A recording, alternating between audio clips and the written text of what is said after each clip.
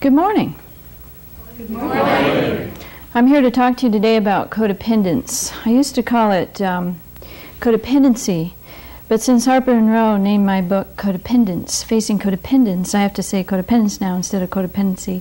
But if you hear me slipping back and forth between codependence and codependency, it's because I'm in conflict over that. They told me the correct English is codependence, but my mouth wants to say codependency.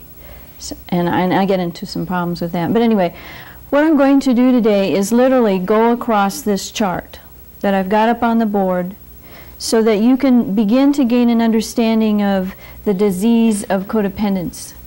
The problem with this disease is that it's so inherent in this culture that it's hard to know that how it works is dysfunctional because how it works is normal for this culture. We normally do the disease, which means most of, about everybody does it. So it feels normal.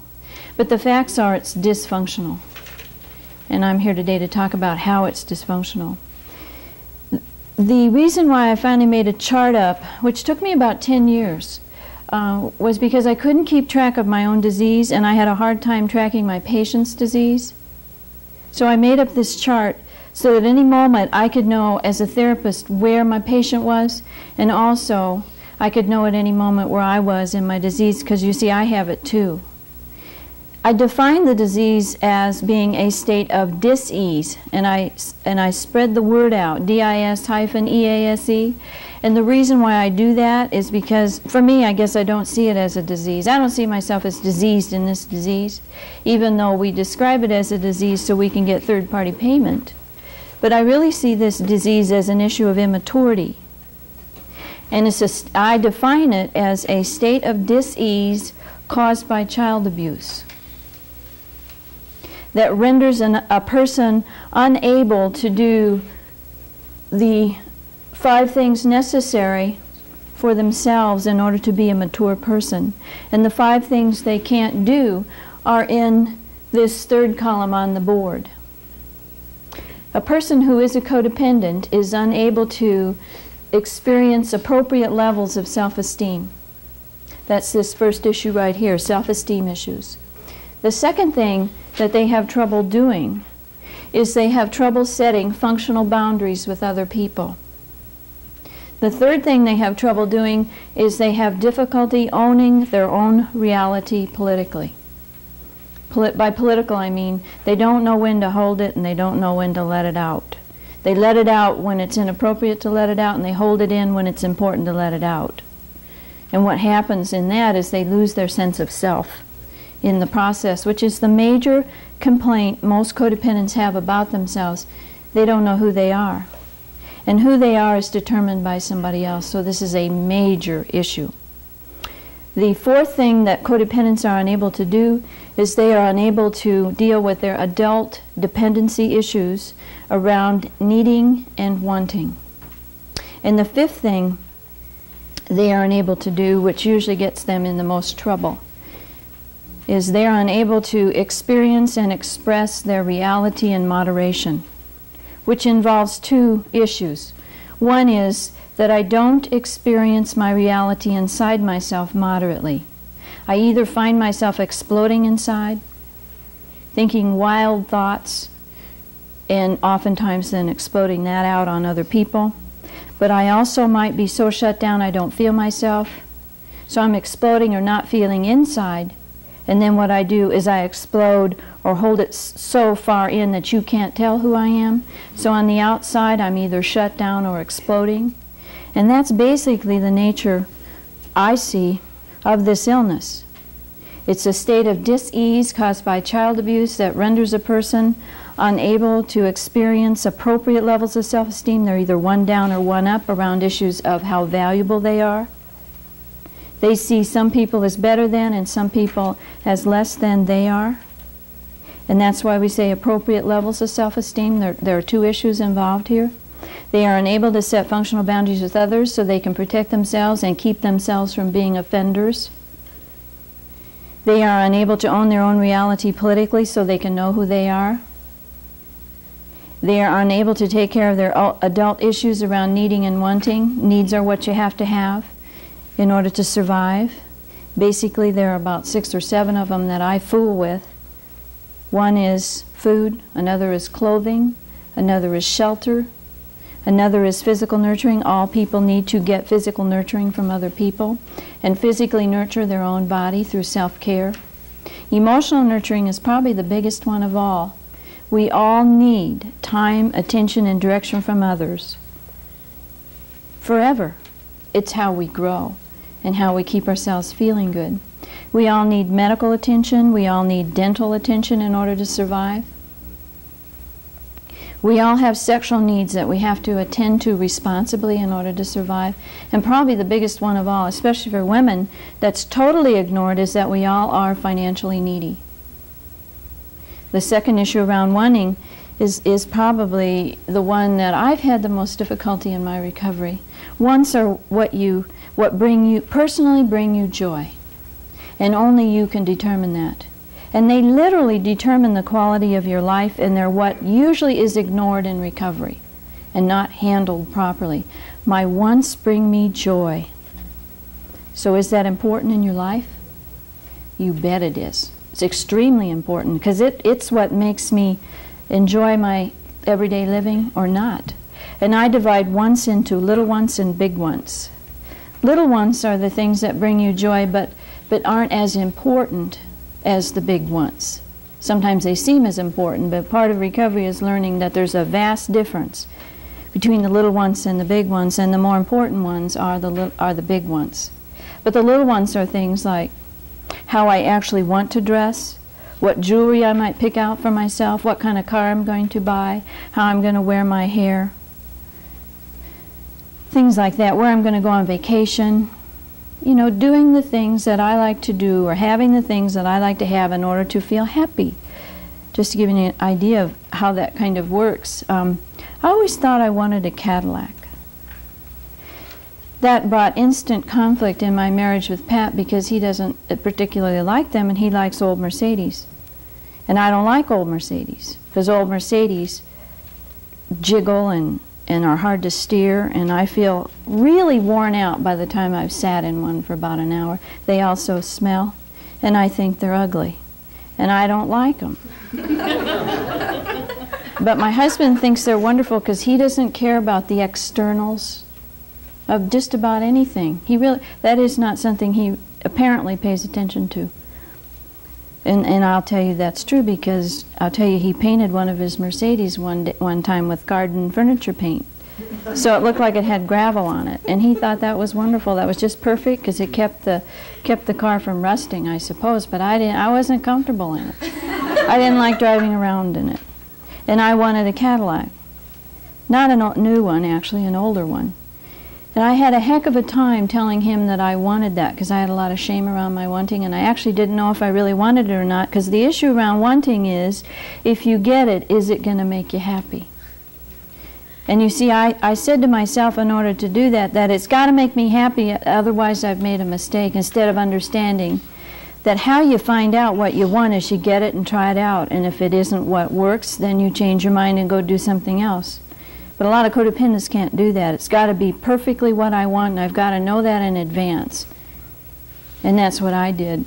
Actually, I did finally tell him I wanted that. Went into a shame attack that lasted two weeks. I mean, a continual shame attack where I felt as though I was walking around about a foot off the ground. It was just a terrible experience. But anyway, I got it and I love it. I still have it. I'm probably going to have it for a long time. When it runs, when I'll probably get another one because I know I like Cadillacs. I found that out by getting it. And it's just wonderful. It brings me joy all the time, every time I get in it. I drive it purposely because I do a lot of flying and I have to drive almost an hour and a half to two hours to the airport. And so when I'm really taking good care of myself, I drive it down and drive it back because when I get off the road, I'm exhausted. But if I drive that Cadillac on my way home, it soothes me. I put Zamfir music in the radio and I come home. By the time I get home, I'm okay. I don't fall asleep on the road. So I use my Cadillac for many things, and it's just wonderful. But it's a little want. The big ones are the things like who I'm going to marry, who I'm going to be in relationship with, what kind of work I'm going to do in my life, where I'm going to live, homes I'm going to buy, children I'm going to have. Those sorts of things. What do I want? Those are extremely important and give your life decided direction. Most codependents in recovery ignore this issue.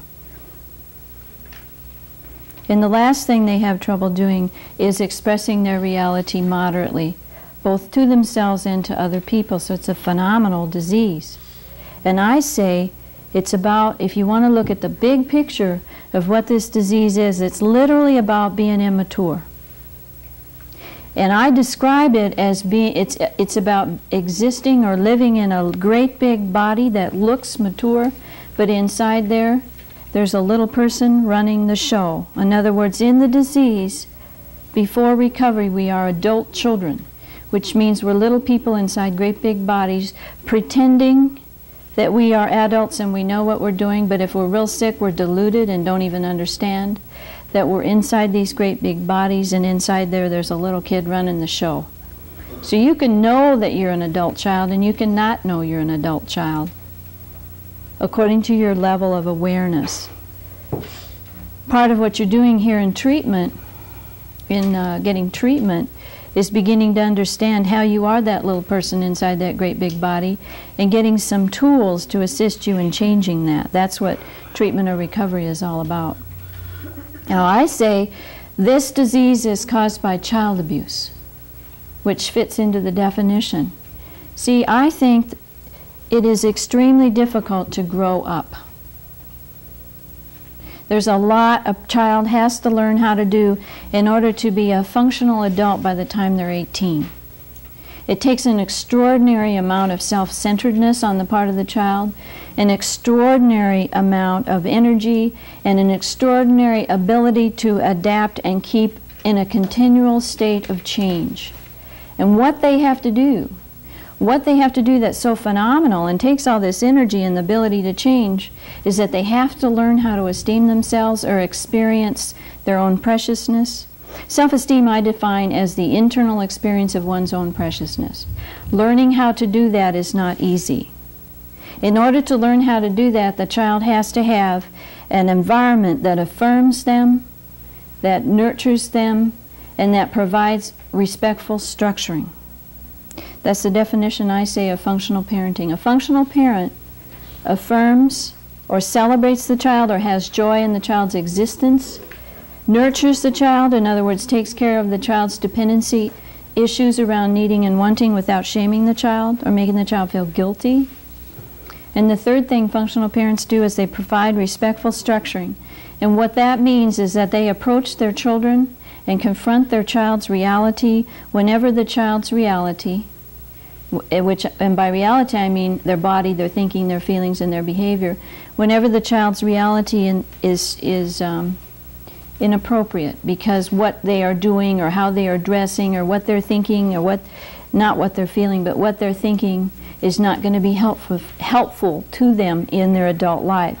So the parent impacts the child's reality respectfully, assisting the child in becoming a person they themselves will like, not the parent will like, but the child will like. Because they have integrity and they operate with integrity in their lives what happens in dysfunctional families is that children get abused. Now, let me define child abuse again, kind of in a real quick way, so you can have some understanding of what I mean by that term. Child abuse uh, is anything that's less than nurturing. Now, we don't define it that way in this culture, because we, in this culture, we only look at phenomenal ab abuse, such as severe physical abuse, like beatings and things like that, or, or direct physical sexual abuse, like incest and molestation. Those are the only things we are willing to look at as abusive, but I want to tell you something. There's a lot more things that can happen to a child that are frankly abusive because what happens is that it creates this disease. See, I think it's a child's right to grow up in a family that teaches them how to be an adult, a functional adult, and that when they're not in a family like that, they're in an abusive system. Because if you look at the system real carefully, what you see going on is that the children are being forced to meet the needs of the parents in order to keep the parents comfortable.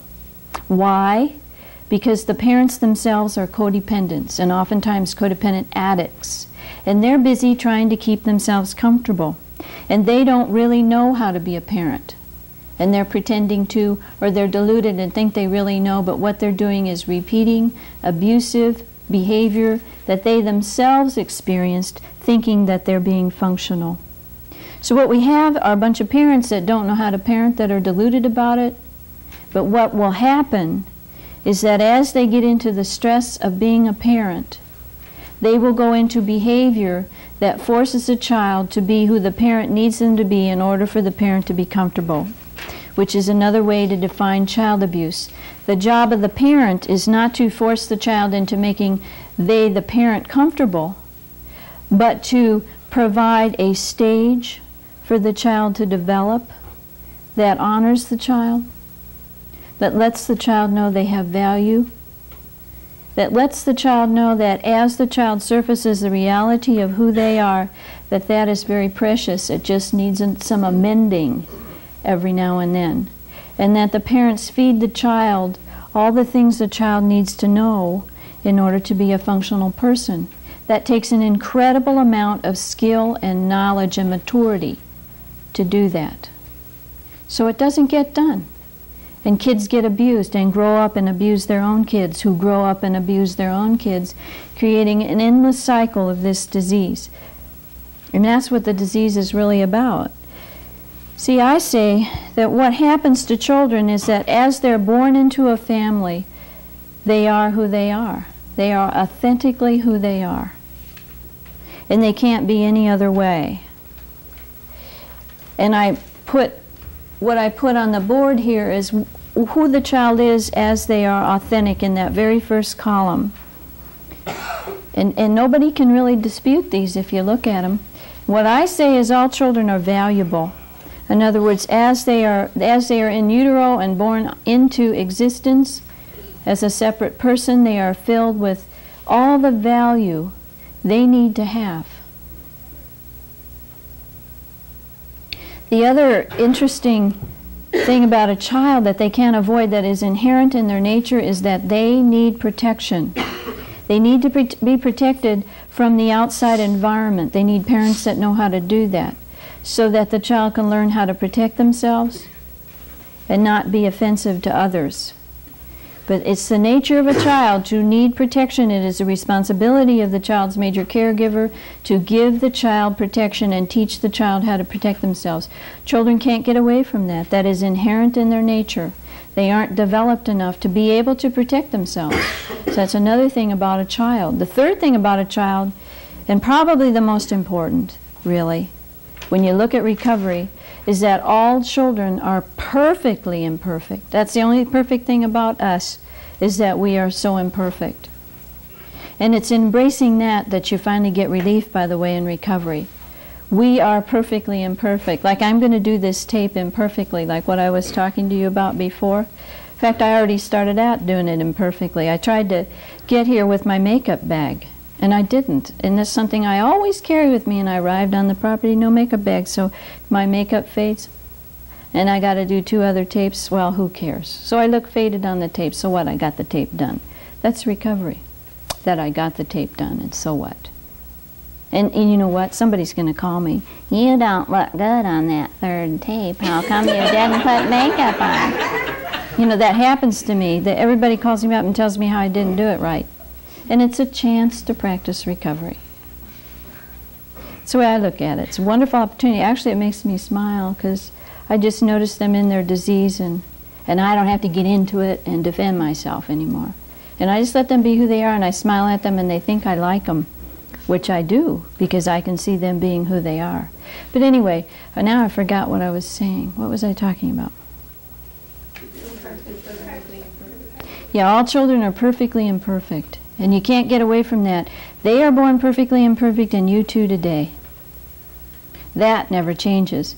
Hopefully, with some maturing, you're not as imperfect. You know, it's like you don't burp in public and fart in public and all that sort of thing. Hopefully, by today, you contain it a little bit so you're not as imperfectly apparent to other people.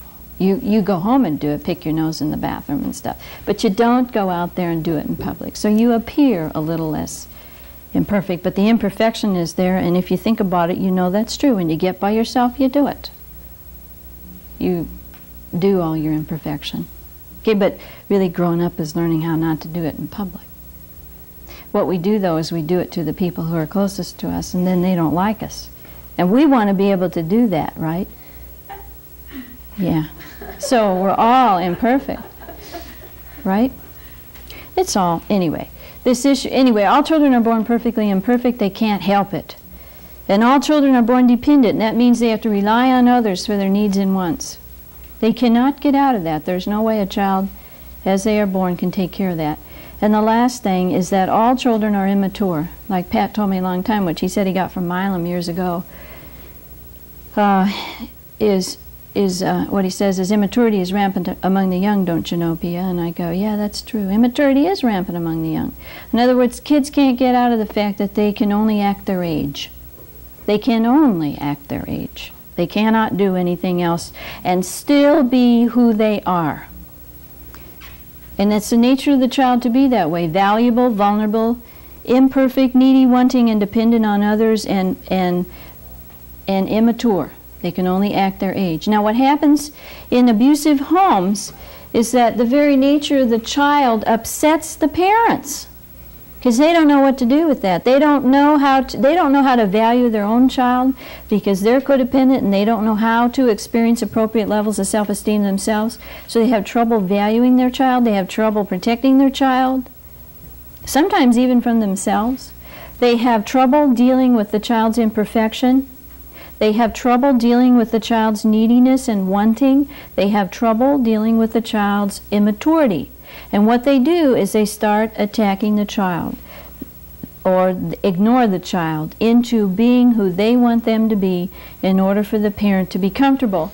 So the child starts moving from their authentic self into an adapted self in order to please the parents. And the disease starts happening right here.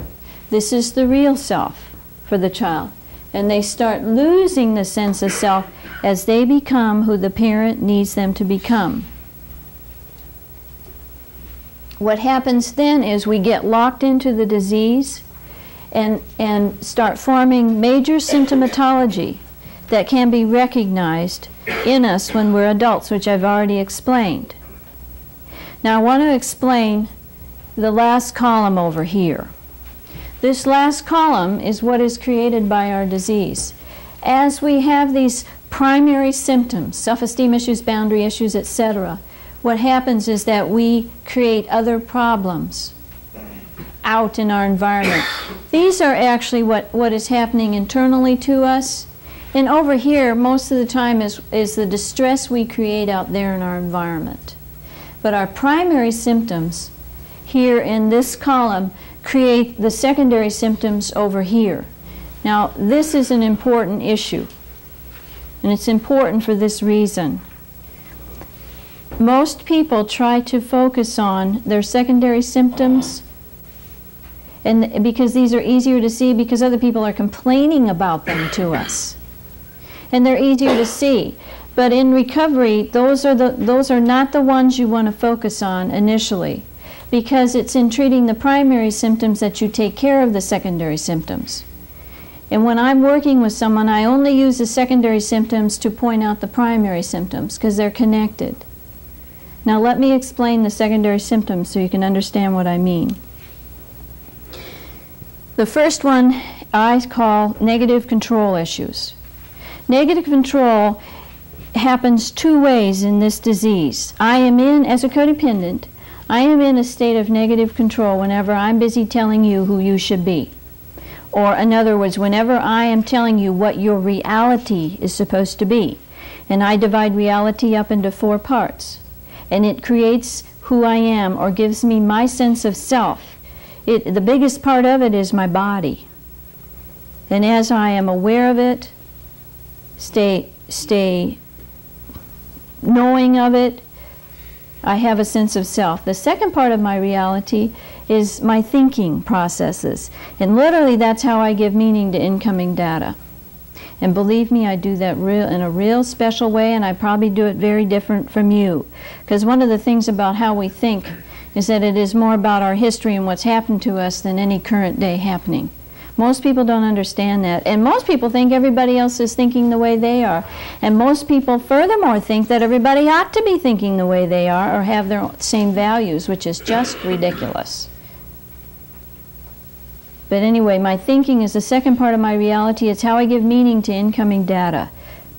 And I want to tell you, in, in, in terms of therapy and recovery, it's in impacting somebody's thinking that we do, we, we make the most changes. Most recovery is about reordering thinking.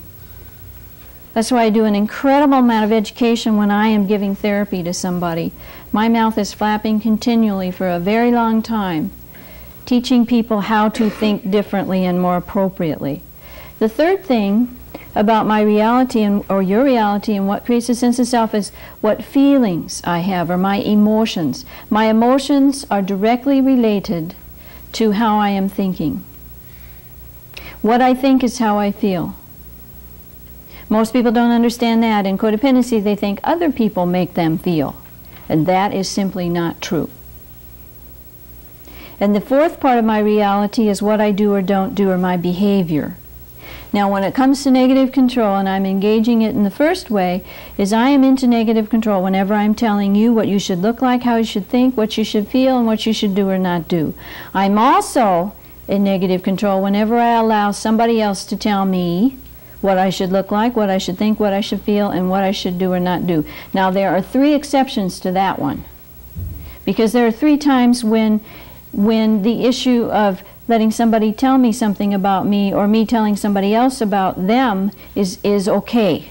Three exceptions. One is that whenever I whenever you are in a therapeutic relationship and you've paid somebody money to help you, basically what you've done is given them some money to tell you where your reality is all screwed up. And if you're going to get into fighting about that, you're in trouble. You see here, in treatment, what you've done is you've paid Mr. Mellody a whole bunch of money in order for him to him and his staff to tell you where your reality is dysfunctional. Now, it's not that you have to agree, but it is that you have to listen. Because you're paying money for that. You don't necessarily have to take it in and change, but you do need to be listening. The second thing that isn't about negative control is in parenting. Parent, parents are supposed to provide respectful structuring of a child. So in parenting, a parent is not in negative control when they're telling their child how to be, when it's in the child's best interest that they do that, and it isn't to the extent that the child loses a sense of self. The third exception in negative control is when we invite to tell us about our reality, such as in sponsorship or just in friendship. If I walk up to somebody and I say, What do you think I look like? When they say, I think you look awful, it's not my place to step in there and fight about it. I just hear that today they think I look awful. I ask them what that is about that, and I think about whether I want to adjust it or not. But getting upset about that is ridiculous and immature. Okay? The negative control then is when I tell you who you should be or I allow you to tell me who I should be unless it's under those three other circumstances. Believe me, other than those three other circumstances, who you are or who my husband is or who my kids are, none of my business. My adult children. Okay? The second major, well, the second secondary symptom are resentment issues. Resentment is about creating anger endlessly. See, anger needs to be situational. In other words, this is happening to me today, and about that I'm angry, and I take care of it. In other words, I go into my environment and do what I can do in order to get myself comfortable again, get out of the displeasure about feeling displeased because somebody has created an injustice to me. And what I know I can do about that is not to get that other person changed but to do what I can do with myself and my environment sans that other person in order to get myself comfortable again.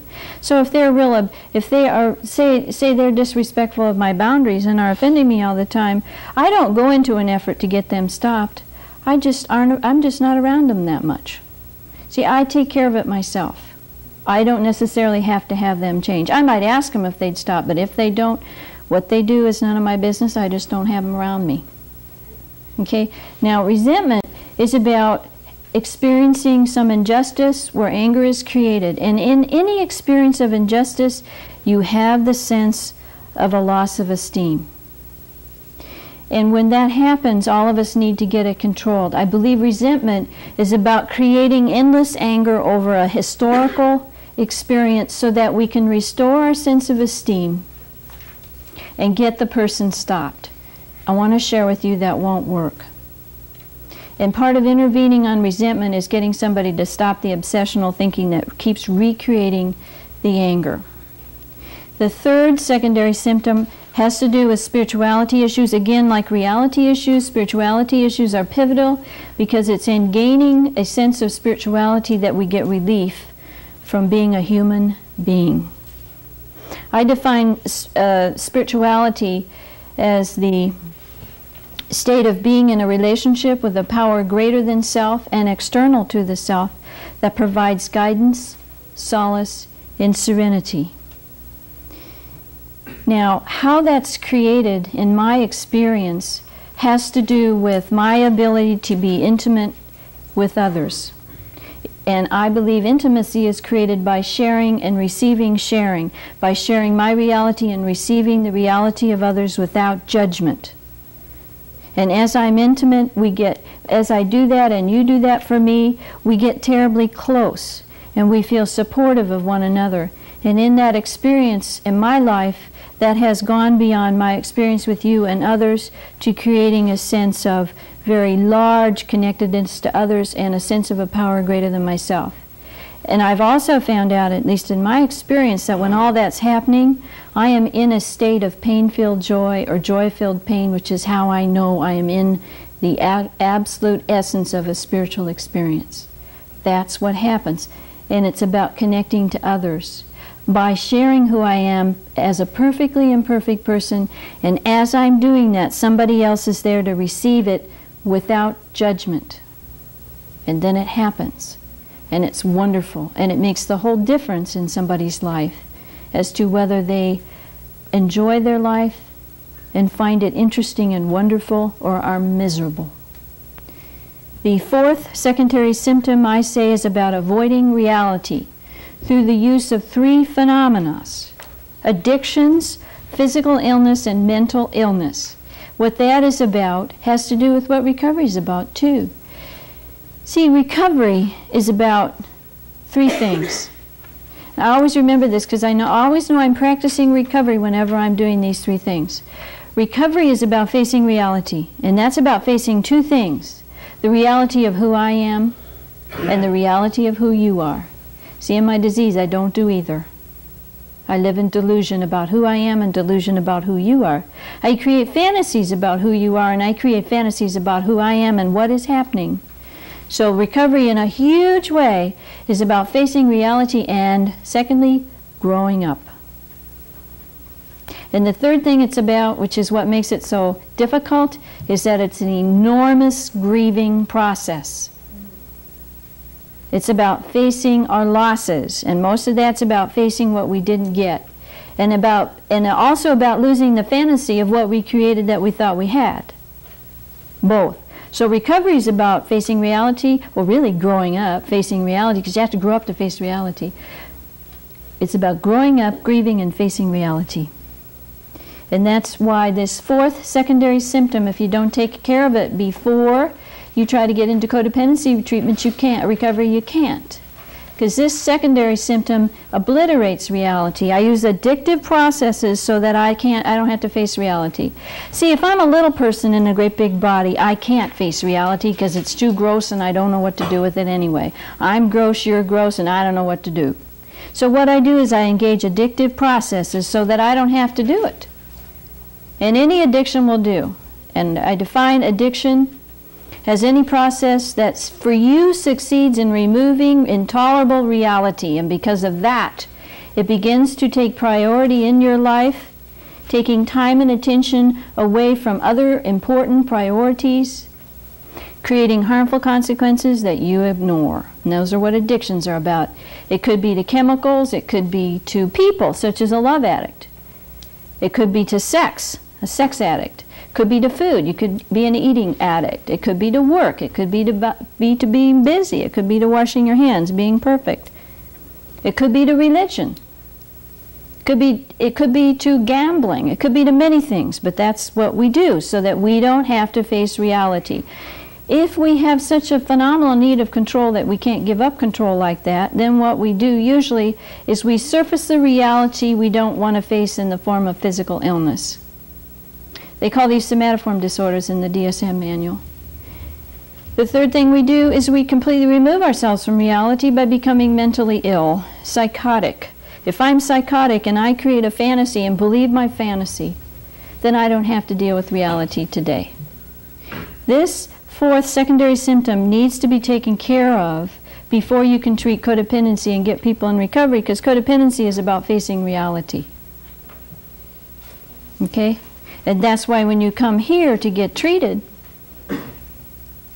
everybody is looking at you to see if you're an addict in some way because if they don't get that at least into minimization, if they don't re, re, take that from delusion or denial at least into minimization, you're, you're almost impossible to treat. It's not that you have to necessarily do anything about some of these things, but you better know because you're going to be using that addictive or obsessive compulsive process to remove the reality that in codependency recovery we're trying to get you to face. And the last secondary symptom, the fifth one, is difficulty having intimacy in our lives. Now that's the one that usually brings you to treatment or to a therapist's office. Because what we do in our disease is that because we've come out of a family where we weren't appropriately parented, where we weren't taught that we really mattered and that we are wonderful, when we get into adult relationships, we have too great a need to make, for that person to matter to that person so that when we get in relationships which we don't know how to do because we've never been taught how to do it, we get into fighting and misery and then we take all that misery and fighting to a therapist and say, fix it. I want to share with you they can't most of the time because you're too immature to be in a relationship in the first place because you're too codependent. It's very few people, I think, that are actually mature enough to even stand marital therapy. I can remember when I found that out, I realized, you know what, Pia, you and Pat are too immature to be in this therapist's office. What we did is we went into individual therapy so that someday we may be fit enough to be in marital therapy together. That's the nature of the disease. Taking care of intimacy issues with your mate is the last thing you probably need to be doing today. You need to be facing yourself and growing up. And in that process, you'll become fit to be in a relationship and deal with real intimacy issues. Intimacy is about sharing.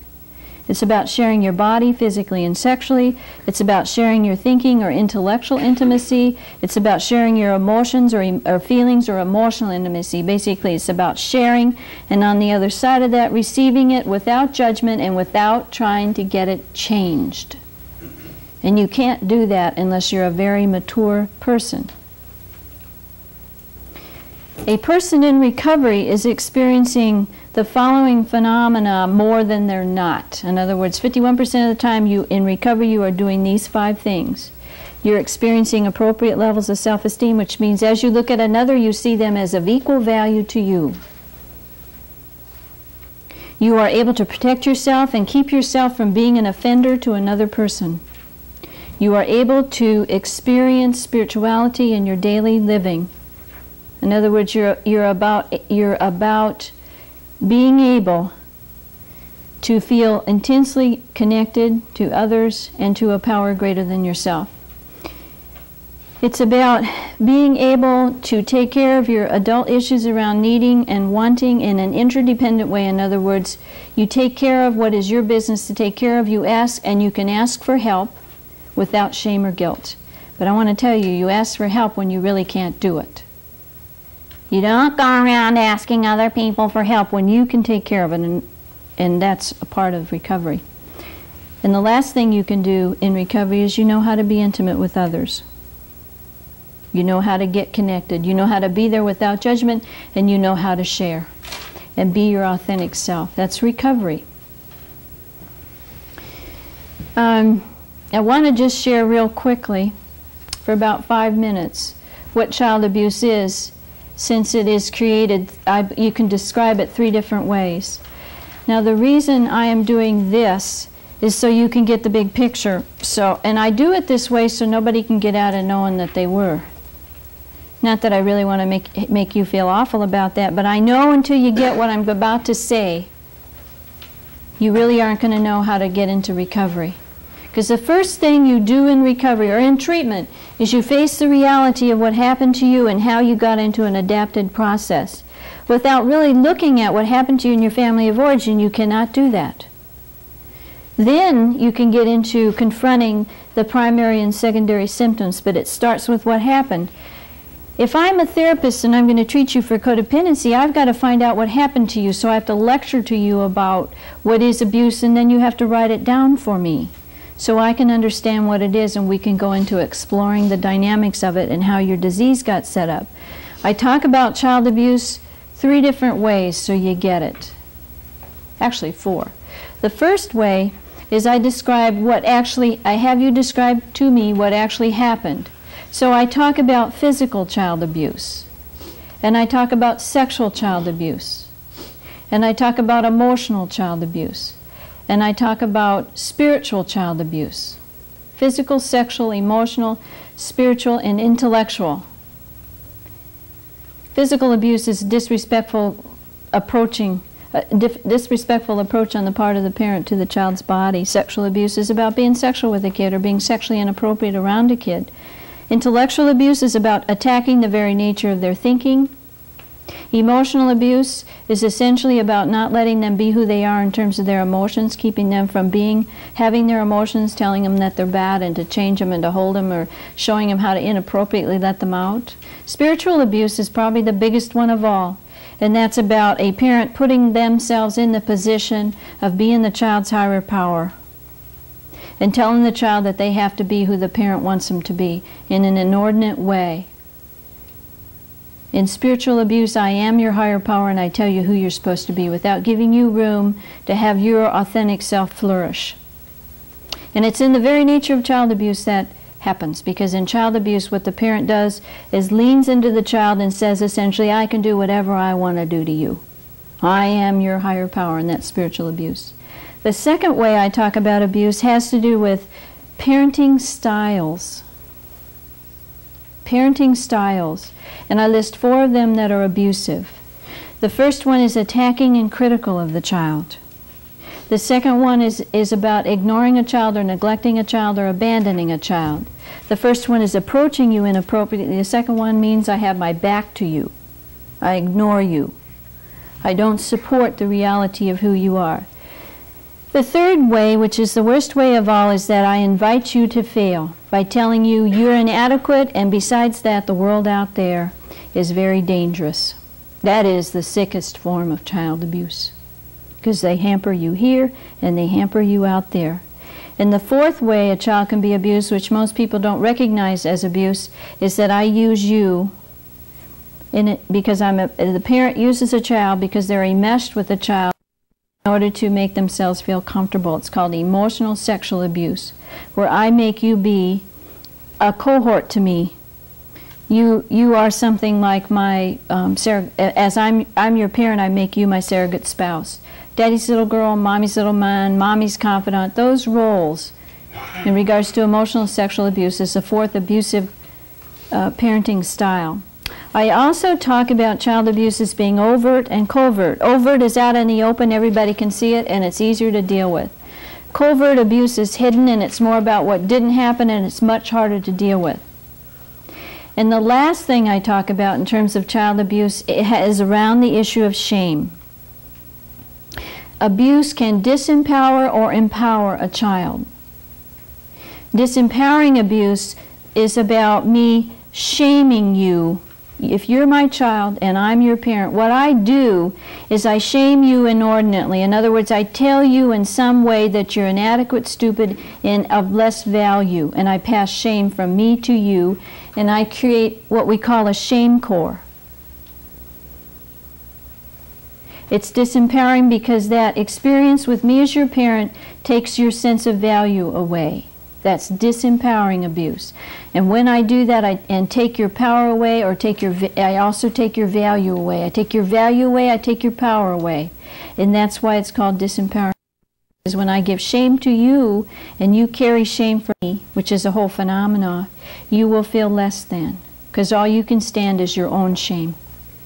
The other issue with shame, however, has to do with empowering abuse. Empowering abuse means that I don't confront the reality of your imperfection and allow you to be shameless without impacting that shamelessness.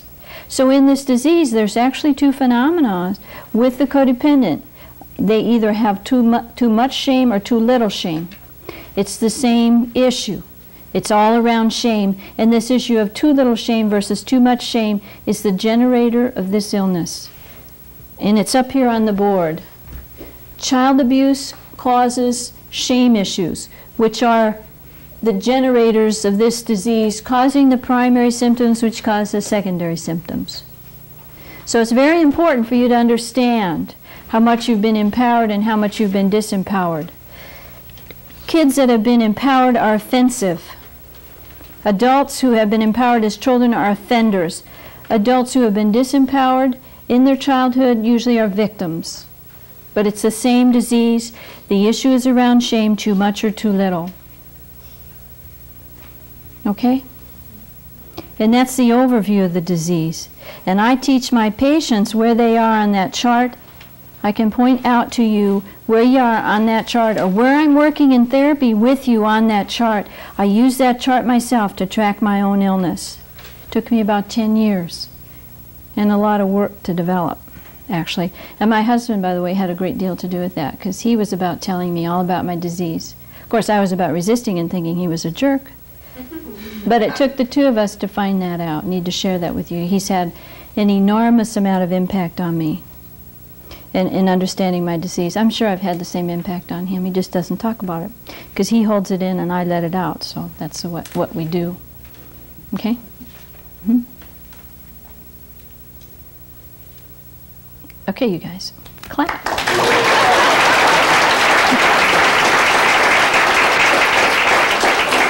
Okay, would you take a five minute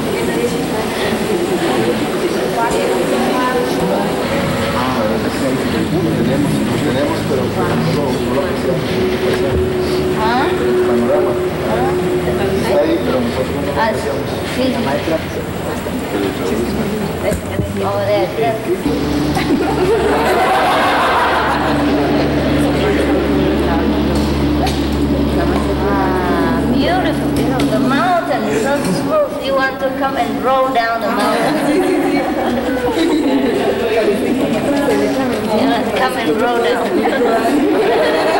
That's not smooth, huh? Yeah, the mountain behind is like that. This is very smooth from from the far away. And you like to just roll down like this.